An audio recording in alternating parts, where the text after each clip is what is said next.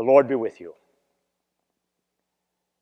Welcome to worship on this Lord's Day.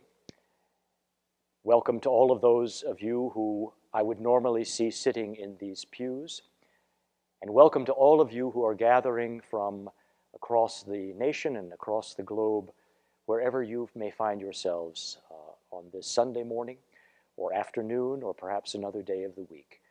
Uh, we are grateful for your presence with us in worship and, uh, as always, invite your participation. Uh, the bulletin can be downloaded from the website and it's on the YouTube as well. I want to also uh, give a word, offer a word of thanks and appreciation for all of you here in Wooster who joined together last Friday evening for the Juneteenth uh, March for Black Lives Matter here in Wooster, Ohio, marching down to the square. It was a beautiful evening and it was a, a powerful representation of our voices, of our multiracial um, act of solidarity, standing up for lives like George Floyd and so many other people of color who have died at the hands of white policemen. And I, I want us to remember that this is an ongoing effort. So don't let your work flag at this time. We must continue to press for reform. We must continue our attempts to change, to go in another direction in terms of racism that has, that has besmirched and still darkly shadows this nation. So again, I, a word of encouragement. Uh, keep, keep up the good work. Keep up the good work. We are graced this morning to have Anne Gasteyer in our pulpit uh, preaching for us, and I thank Anne for doing that. Thank, as always, um, our liturgist. Today it's Rachel King, our wonderful church music, musician Eric Gasteyer, and uh, our recording engineer Jacob Gooch. We could not do this without the participation of these uh, very talented, uh, gifted, and generous people. I want to say, too, that the beautiful flowers that you will see by the pulpit are donated by Don Bean and Pat Miles, and their dedication today is in honor and appreciation of all those creating meaningful virtual church services every week. And I would say that includes not just the services we do here at First Presbyterian Wooster, but all of those services that are going on all over the country and probably all over the world, uh, reaching out to local congregations while at the same time inviting a much larger congregation to join and tune in as well. So thank you very much, uh, Don and Pat, for that. And now let us prepare our hearts to worship God. Good morning. This morning we have three pieces of music from the British Isles early in the 20th century. First of all, a beautiful elegy by C. Hubert H. Parry, the composer of the famous tune Jerusalem. He wrote this particular piece specifically for the funeral of a former member of parliament in 1917. For the musical offering today, likely the most famous melody ever penned by Gustav Holst from his Planets, uh, one of the themes from the Jupiter movement. Holst himself made this into a hymn tune, which appears in many hymnals, unfortunately not ours. And the most common tune here in the US is, O God, beyond all praising, we worship you today.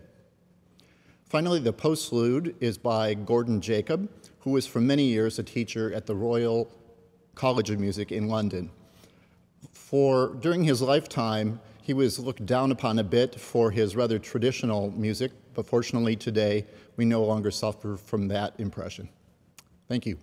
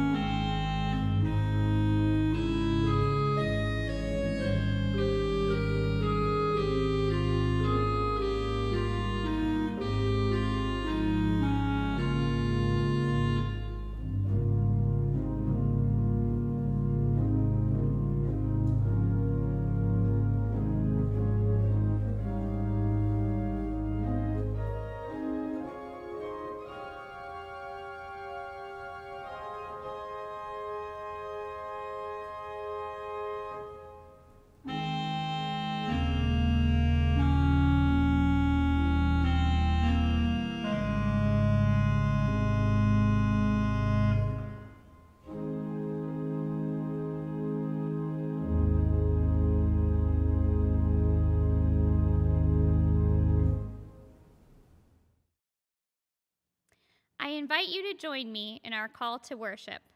Welcome. In the name of God, you are welcome here. The arms of God are stretched out wide, ready to embrace all with love.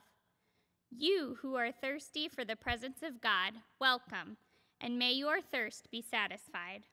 We come seeking to know God's love through the care of this community.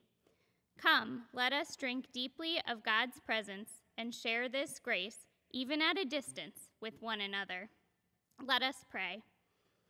O oh God, we turn to you and ask to hear a word of kindness. Do not let us be disappointed. We trust in your steadfast love, and our hearts rejoice in your saving ways. May we see your bountiful mercy once again as we lift our song of praise to you. Amen. Please join in our prayer of confession. God works in us, through us, and with us. To heal the pain we cause one another when we turn away, when we shove aside, when we do not listen, when we do not share, when we judge one another, when we reject one another. God works in us, through us, with us, to be the faith that makes all things well. As we bring our brokenness to God, God forgives us and works with us to heal our hurts and those of the world. Rejoice in the Holy One. Rejoice in the steadfast love of God.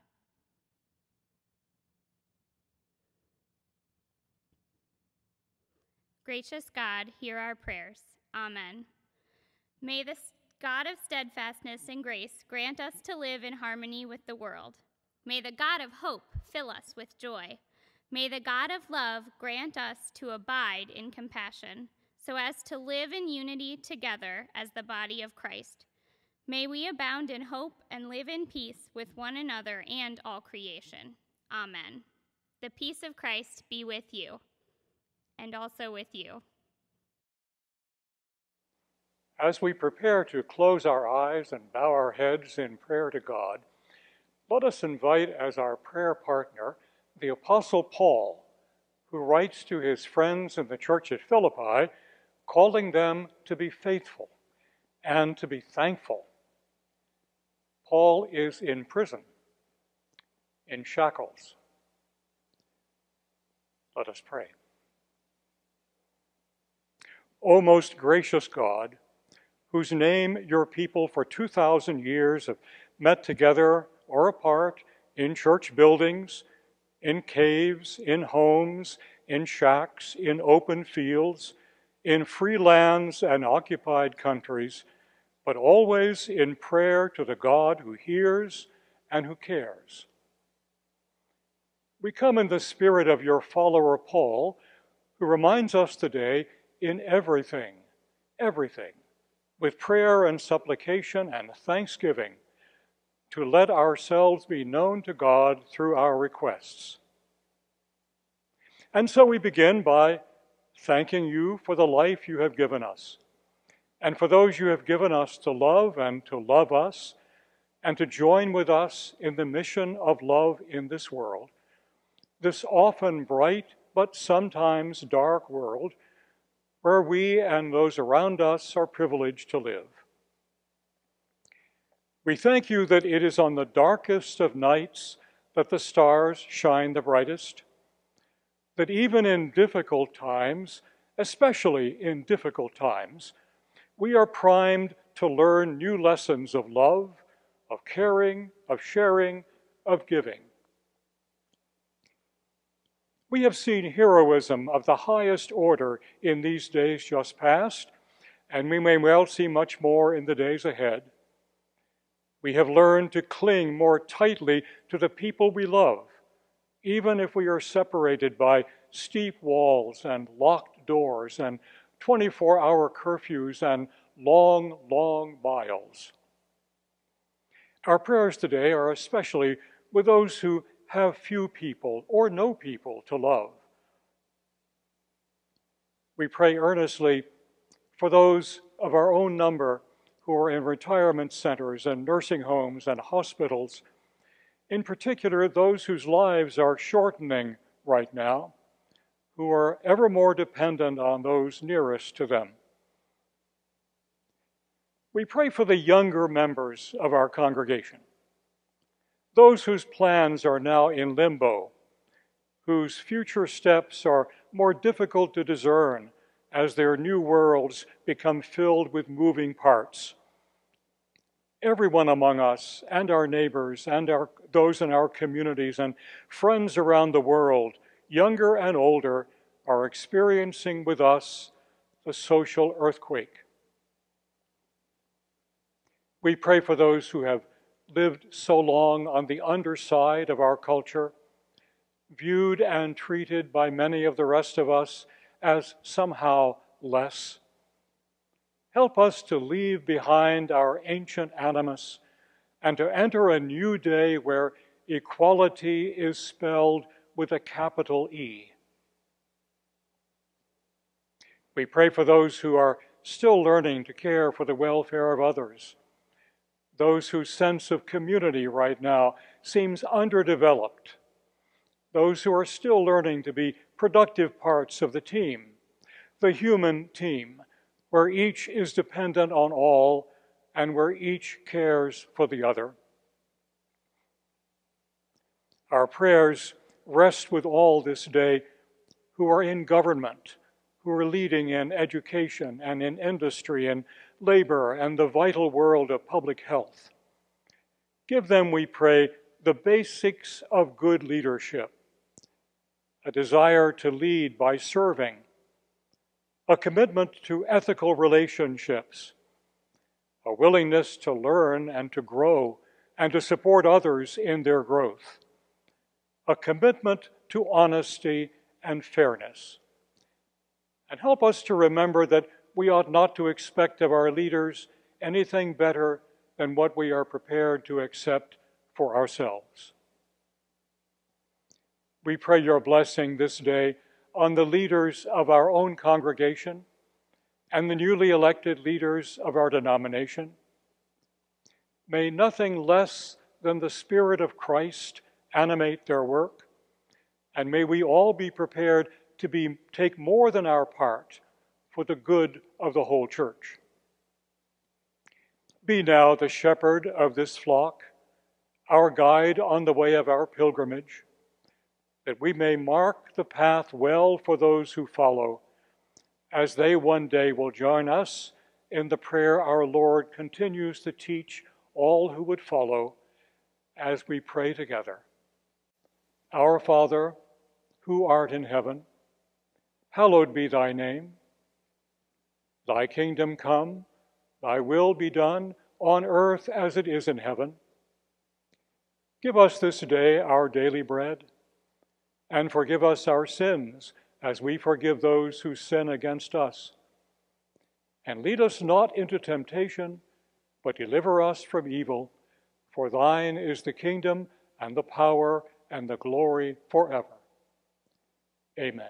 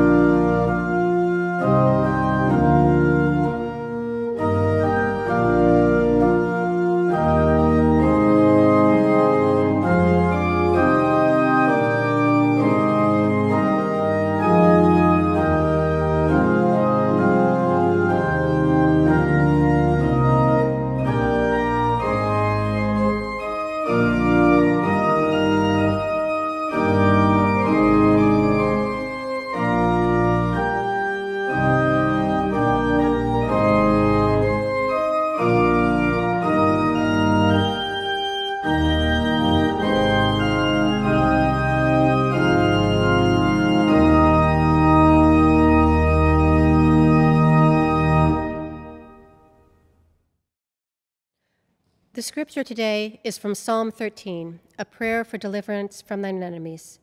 To the choir master, a psalm of David. How long, O Lord, wilt thou forget me forever? How long will thou hide thy face from me? How long must I bear pain in my soul and have sorrow in my heart all the day? How long shall my enemy be exalted over me? Consider and answer me, O Lord my God. Lighten my eyes, lest I sleep the sleep of death, lest my enemies say, I have prevailed over him, lest my foes rejoice because I am shaken. But I have trusted in thy steadfast love. My heart shall rejoice in thy salvation. I will sing to the Lord because he has dealt bountifully to me. Amen. What a difficult time we are in full of fear. Fear for ourselves, for our family, our community, our country, and our world. When we hear the news of the coronavirus, we wonder if we or our loved ones will be next. The sickness, the suffering, alone in a hospital with no one near. And we fear for our economy. What will happen to our jobs, our security, our institutions like this very church, when money seems to come and go like quicksilver. And racism, America's greatest sin. As we watch cities as large as Chicago or Miami or Minneapolis or as small as Wooster, Ohio, demonstrate demanding justice, demanding many of the rights most of us feel we deserve as Americans, but somehow those rights have never been extended evenly. The cry is for peace but first, we must acknowledge the violence. Like many, I can't sleep well these days, although I used to read a book a week, I can't read much either. I've never enjoyed watching television, so I head outside. I've turned to my garden, making up for the neglect of the pre and post transplant years as I dig holes, pull weeds, and move plants around with energy and intention that I should probably save for more important tasks. What can we do at this difficult and painful time when so much that was familiar to us has been taken? We cannot go to the library. We cannot gather with friends or family.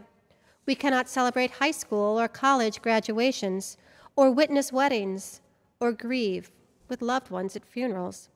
And we cannot gather in our own sanctuary to worship. How can we survive to those better days we hope are waiting? I have three ideas to share with you today, and I share them with hope that you will feel hope. First, look up. Look up to God with courage, for strength, and for wisdom. And then look back, because history can repeat itself and teach us valuable lessons. And then look out to see what we can do for others. Look up the psalmist today tells us that they are lonely for God, as are we today. As people, we have struggled, and we will always struggle. When we feel alone, overwhelmed, and forgotten, we can turn to the Psalms, where every emotion from all times seems to be addressed. Whenever I read the Bible, I pick and choose what stays with me. And in Psalm 13, it is the last two verses but I have trusted in thy steadfast love. My heart shall rejoice in thy salvation, and I will sing to the Lord, because he has dealt bountifully with me. I have spoken from the pulpit that I sing in my car. I drive 300 miles a week for work, or I used to, and it was a good time to sing loudly and robustly, if not always musically, and hymns lift my spirit as I drive along. Lately, I've been singing Amazing Grace with the frequency, especially the verse that reads, Through many dangers, toils, and snares, I have already come. Tis grace that brought me safe thus far, and grace will bring me home. I encourage you to find a way to connect with God. Read your Bible, sing some hymns, pray what is on your hearts and on your minds, and look up and know that you are not alone and then look back. In my own life, I have had some very painful times, but nothing compares to this time. Because I've always loved history, I find myself thinking back a century to the Spanish flu epidemic, and then to the 1930s and 40s, and my parents' memories of the polio epidemic and my mother's quarantine with scarlet fever. Today, I read from my grandmother's Bible to help inspire me to find the lessons we can learn from looking back in time. My grandmother, Helen Kane, married Walter Hadley in Bowling Green on a summer day in June, and the local newspaper reported that she was a lovely bride. I don't know what the first few months were like for the couple, but it was 1929. And by November, they had moved back in with her parents and her siblings. From my grandmother, I learned to know my own strengths or weaknesses, to manage my money, or it would manage me, and not to complain, because no one wants to hear it. I am not sure what they thought married life would be like, but I have their wedding sampler in my home, and it reads The blessing of the house is contentment. Inspiration from 91 years ago that is just as timely today. Look back and see what lessons the past can provide for you. And then look out. As bad as things have been since the middle of March, I am constantly reminded that for some people, it's been worse. In addition to our collective concerns, life has gone on in some very cruel ways. Relationships crumble. Homes are dismantled. Cars need extensive repairs or replacement. Friends do not respond. Jobs end suddenly or never started in the first place. And health issues lurk around the corner, just out of view, but never out of mind. And the list goes on and on and on. I want to stay in the garden with my flowers. But as Christians, we are called to care for those in need when I feel overwhelmed with the concerns of today, I try to do just one thing each day that follows the words of Jesus. I think of the words in Matthew 25 40 Whatsoever you do for the least of my people, that you do unto me. Friends and neighbors need words of encouragement. Social services need food and other supplies for their clients. Children will head back to school sometime and will need clothing and school supplies. And all these organizations and our own church need money to survive. Look out and see what you can do to help. The psalmist cries out with feelings of loneliness and isolation centuries ago, but also today, in this very time. In ancient times, as in today, God can use us to share his love. God can use us to guide with his wisdom. God can use us for comfort and compassion. Our hymn today is one I hope will stay with you throughout the week. In the midst of the turmoil, the confusion, the boredom that has become our everyday lives, I pray that you will hear the voice of God saying to you, Do not be afraid, I am with you. Amen. Claim you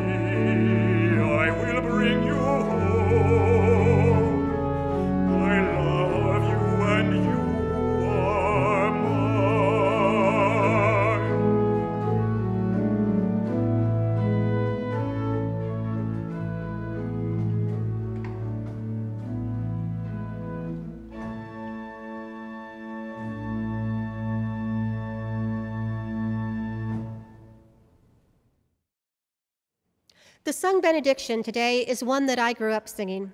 First, you will hear David sing, and then the Stockton Perkins family will sing in a round. May I give it to you with one more hope, and that is look forward. May it be soon that we meet again. Until then, may the road rise to meet you, may the wind be always at your back.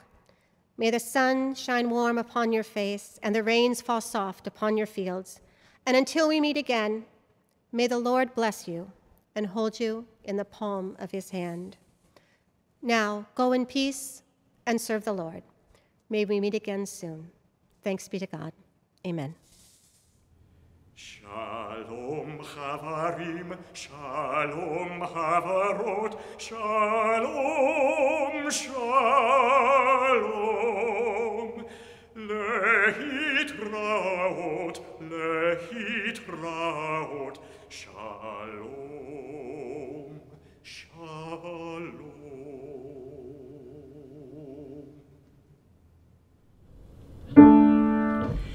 Shalom, good friend. Shalom, good friend. Shalom, good friend. Shalom, good friend. Till we meet again. Till we meet again. Till we meet again. Shalom, Havarim, Shalom, Havarim. Shalom, Havarim. Shalom.